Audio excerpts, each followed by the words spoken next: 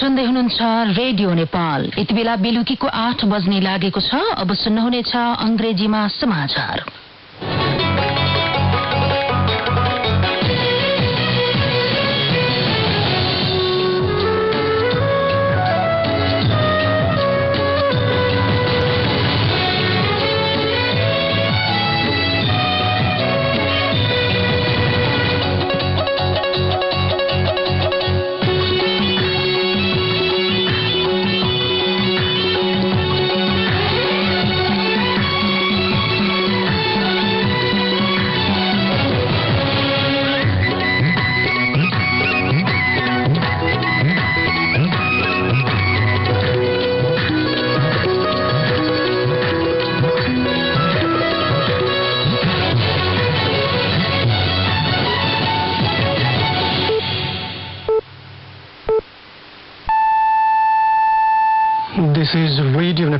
I'm Arjun Sapkota with the news. The headlines first. Prime Minister KP Sharma returns home after participating in the 79th session of UN General Assembly. Death toll from rain-induced disasters across the country reaches 209. 29 people still go missing. Prime Minister Oli places to center government efforts on relief, rescue and rehabilitation works. Government forms a special task force to assess loss and damage caused by rain-induced disasters. And Israel hints at Lebanon invasion as Hezbollah says it's ready for ground offensive. Now the news in detail. Uh, Prime Minister KP Sharma has returned home this afternoon after participating in the 79th United Nations General Assembly in New York.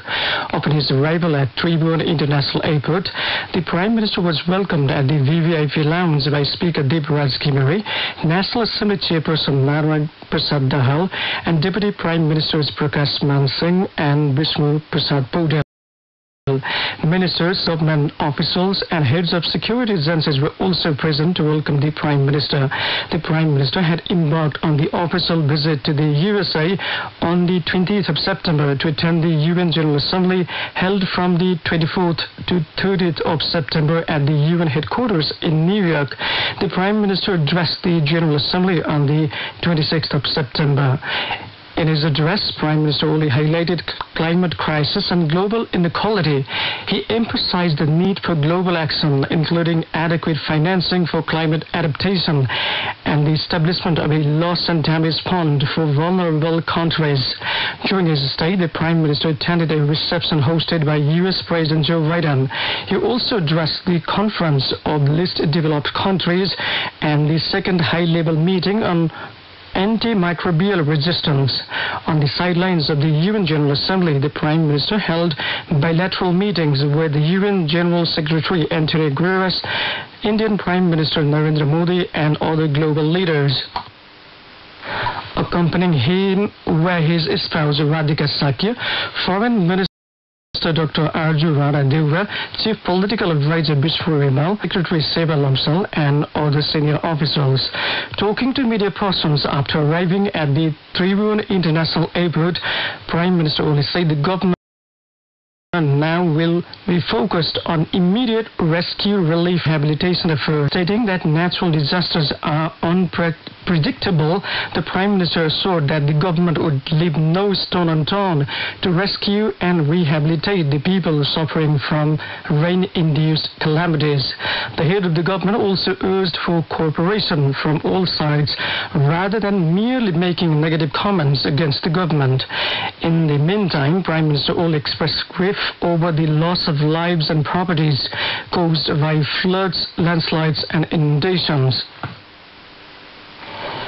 A total of 209 people have lost their lives and 29 others remain missing due to floods, landslides, and inundation triggered by incessant rainfall. Nepal Police Central spokesperson Dan Bahadur Karki reported that 142 individuals were injured in the disasters and are receiving treatment at various health facilities. He also noted that approximately 900 people were rescued today alone. The government has decided to gather details of the losses caused by the recent rain-induced disasters across the country within the next 15 days by forming a special task force. The effort aims to assess the damage and ensure timely compensation to those affected. A meeting of the National Disaster Risk Reduction Executive Committee, chaired by Home Minister Ramesh Lekhak, formed the task force, which includes undersecretaries from relevant ministries. Experts from relevant fields will also contribute to the task force. The meeting decided that relevant ministries will immediately begin the reconstruction of government and public buildings as well as transport infrastructure such as roads and bridges, drinking water systems, schools and health facilities. Additionally, the committee recommended that the Council of Ministers approve the disaster-sensitive social security guidelines. The Ministry of Physical Infrastructure and Transport Management has been directed to promptly restore disrupted roadways to help stranded passengers reach their destinations. Meanwhile, the National Disaster Risk Reduction and Management Authority has stressed the importance of coordination with local levels for distribution of relief materials and rehabilitation to those affected by the recent rain-triggered disasters. Dr. Dijan Bhattarai, spokesperson of the National Disaster Risk Reduction and Management Authority, said the meeting of the authority today decided to carry out relief distribution operations to Rondo Stone and implement relief and rehabilitation operations in coordination among three-tier governments. This news comes to you from Radio Nepal. Now it's time for a short break. Landline फोनमा समस्या छ। चौध अन्ठानब्बेमा phone गर्नुहोस्। समस्या पोस्टपेडमा नि आयो। चौध अन्ठानब्बेमै फोन गर्नुहोस्। ओहो सम्झे। प्रिपेडको पुग नम्बर पनि चाहिएको थियो। त्यसको लागि पनि चौध अन्ठानब्बेमै फोन गर्नुहोस्। नेपाल टेलिकमको जिएसएम सिडिएमए मोबाइल तथा ल्यान्डलाइनमा कुनै पनि समस्या आएमा जे जे सोध्न मन छ चौध अन्ठानब्बेमा फोन गरेर सोध्नुहोस्। यो नम्बरमा फोन गर्दा पैसा लाग्दैन। नेपाल टेलिकम राष्ट्रको संसार। Welcome back now. The remaining news. Minister for Industry, Commerce and Supplies, Damodar Bhandari, has warned his subordinate bodies about the risk of artificial price hikes and black market supply issues during the festival season, especially in the wake of recent disasters. He emphasized the need for stronger market monitoring to protect consumers. In a meeting today, the minister summoned chiefs of subordinate bodies and discussed nationwide market monitoring efforts. You are listening to Radio Nepal's 8 p.m. English News Bulletin. Now on to some international news updates.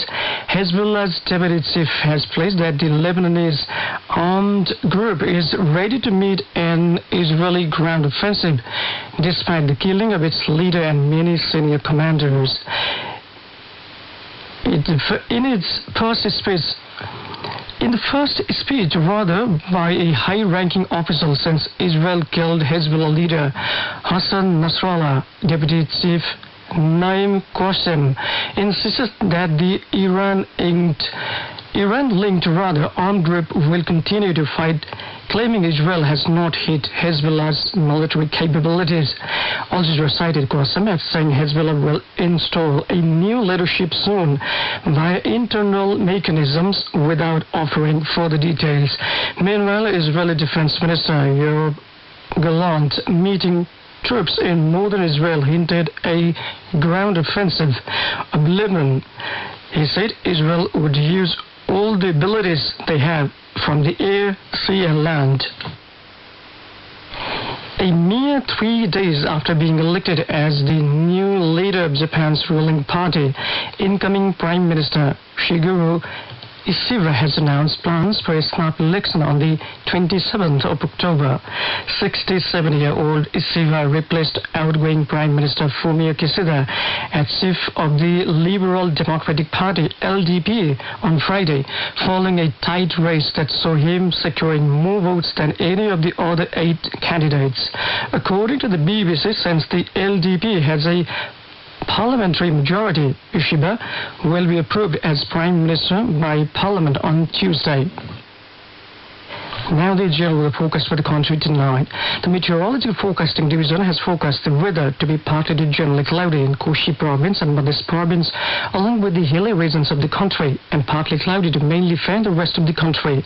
Light to moderate rain with thunder and lightning is likely to occur at a few places of Koshi province, Gandaki province, and at one or two places of Madhesh province and Bagmati province. With this, we have almost come to the end of this news bulletin. But before wrapping it up, let's have a reminder of the headlines once more. Prime Minister K.P. Sharma returns home after participating in 79th session of UN General Assembly. The toll from rain-induced disasters across the country reaches 209. 29 people still go missing. Prime Minister Oli places to center government efforts on relief, rescue and rehabilitation works. Government forms a special task force to assess loss and damage caused by rain-induced disasters. And Israel hints at Lebanon invasion as Hezbollah says it's ready for ground offensive. Well, that's the end of this news bulletin from Radio Nepal for this hour. Also visit our website www.onlineradionepal.gov.np for more news and online programs. Our next news in English is at 8 a.m. tomorrow. Stay tuned and have a good night. ए छोरा के छ हाल खबर पढाइ कस्तो चल्दैछ? सबै राम्रै चल्दैछ। अनि त्यहाँ के छ बुवा? यहाँ पनि सबै राम्रो छ। ल तेरो आमासँग कुरा गर। पर्दैन पर्दैन। किन धेरै पैसा खर्च गर्नुहुन्छ? किन टेन्सन लिन्छस् बाबु? हामी जस्ताको लागि एनटिसीको इन्डिया प्याक छँदैछ नि। इन्डिया कल गर्न त कस्तो सस्तो पो छ त त्यसमा। ल त्यसो भए ढुक्कले कुरा गरौँ न त। सेवा सुचारू गर्नका लागि एस्ट्रिक चौध पन्ध्र ह्यास डायल गर्नुहोस्। नेपाल टेलिकम राष्ट्रको सञ्चार सुन्दै हुनुहुन्छ रेडियो नेपाल। अब हामी केही लोकगीत राख्दैछौ। पहिलो लोकगीत छ सूर्य थुलुङ तीर्थकुमारी हिरादेवी राई र साथीहरूको स्वर नवीन गुरुङको संकलनमा